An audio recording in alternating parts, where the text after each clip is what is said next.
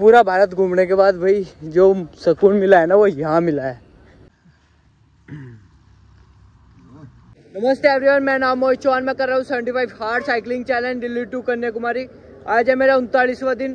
तो भाई लोग, आज मैं जा रहा हूँ कोयम्बटूर कोयम्बटूर से जाऊँगा आदि योगी तो तुम्हारे भाई का बहुत पहले से ही सपना है कि तुम्हारा भाई आदि योगी जाए और महादेव के दर्शन करे। तो भाई लोग, आज तुम्हारे भाई का वो सपना पूरा होने जा रहा है, जिसकी उम्मीद मैंने बहुत पहले से लगा रखी है। बहुत सारी इच्छाएँ मेरी कंप्लीट हुई हैं भाई, जैसे कि साउथ में आना था और दूसरा भाई, समुद्र को अपनी आँखों से देखना था और उसमें नहाना था, ये भी कंप्लीट हुआ। हर एक राइडर का एक सपना होता है कि भाई, कश्मीर टू कन्याकुमारी कंप्लीट करे, तुम्हारे भाई ने कंप्लीट कर लिया है तो ये भी सपना मेरा पूरा होता है। तो भाई, आप सभी का बहुत बहुत धन्यवाद। मेरे सपने पूरे करवाने में भी आपका बहुत ज़्यादा हाथ है भाई तो बहुत बहुत धन्यवाद आप सभी का।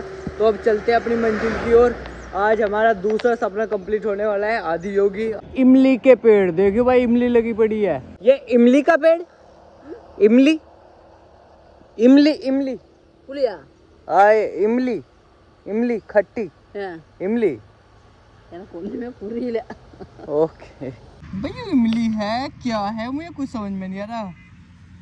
मैं पता नहीं भाई इमली है क्या है? तोड़ के देखा तो कुछ और सही निकल रहा है तो। चलो खैर छोड़ दो। हमें क्या? बेईमान है तू बड़ा। आज मौसम बड़ा। बेईमान। है बड़ा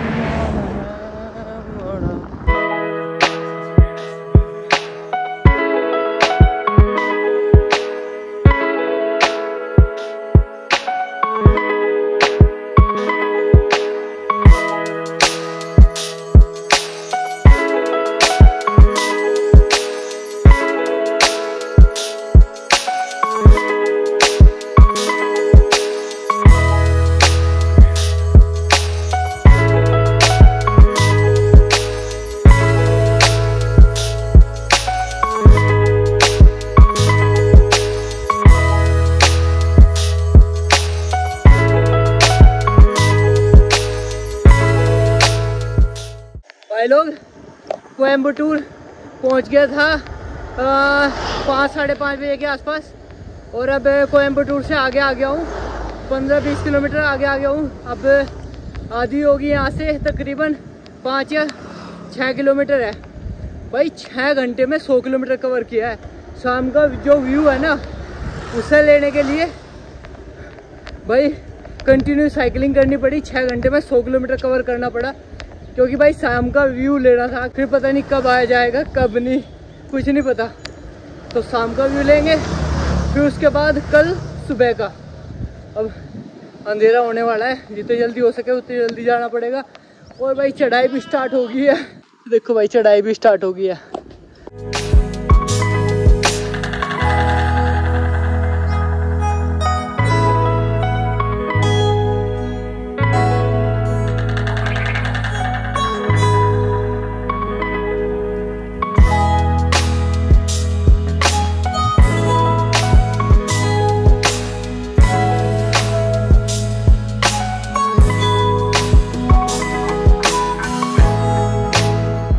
लोग शेरनी को तो कर दिए यहाँ पे लोग, और अब चलते हैं अपने महादेव के पास में, इधर से जाएँगे।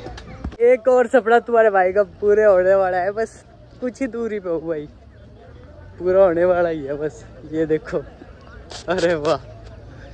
भाई सब यहाँ से हाय हाय, मज़ा आ गया, स्वाद आ गया ज़िंदगी में, और क्या चाहिए भाई?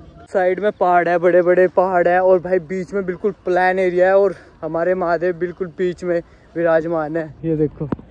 हाय हाय भाई तुम्हारी कसम मज़ा आ गया। दिल गार्डन गार्डन हो गया बिल्कुल ही। थोड़ा सा मैं लेट हो गया भाई बहुत कोशिश करी टाइम पे जाऊँ पर अभी भी टाइम पे ही हूँ। पर थोड़ा सा क्या हो गया कि थोड़ा सूरज छिप गया। जो शाम का व्यू था ना वो लेना था।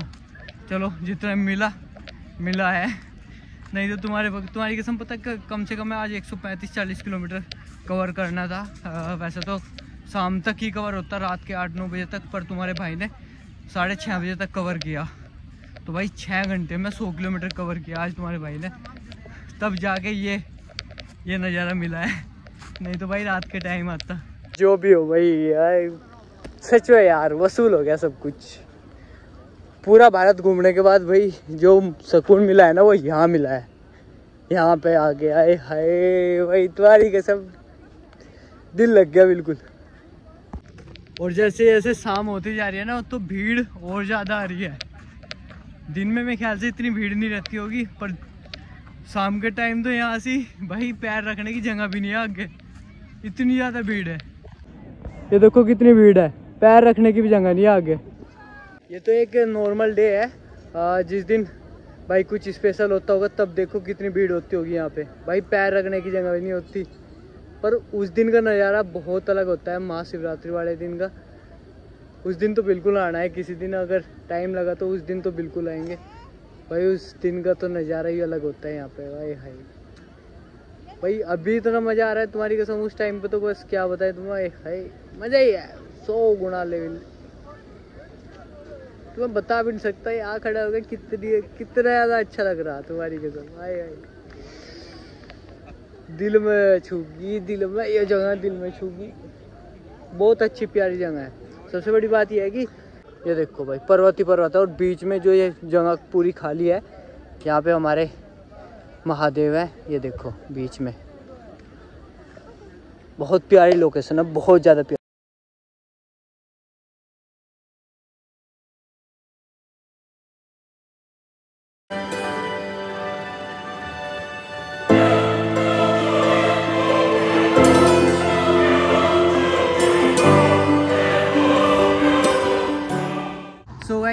लंबे समय के बाद मुझे पेट्रोल पंप पे स्टे मिल गया, क्योंकि भाई बहुत ज़्यादा भटकना पड़ा आज, क्योंकि होटल्स में भी गया आज, वहाँ पे स्टे नहीं मिला।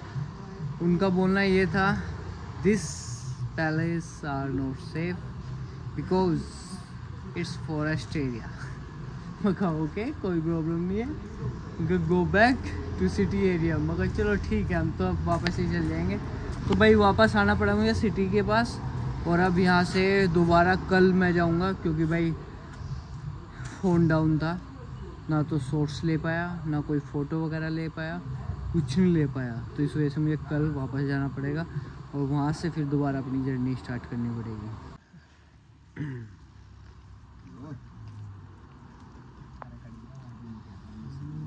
टेंट वेंट तो लगा लिया अपना और बाकी सामान भी रख दिया है।